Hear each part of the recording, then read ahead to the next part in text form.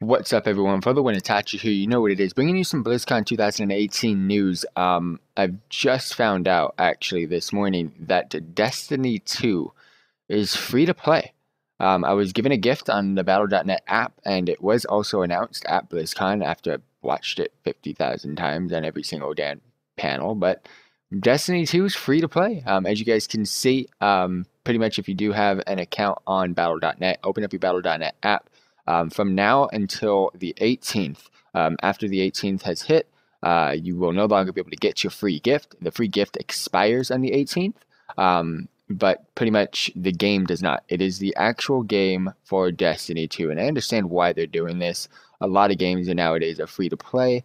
Um, they're struggling to get people into the game, but Destiny 2 is an awesome looking game. And if you guys want me to go ahead and check it out, post down below in the comment section. I'll be sure to go ahead and check out Destiny 2. Um, but yeah, Destiny 2 is free to play. I know this is a very, very quick video and kind of me just rambling on for no reason. And yeet.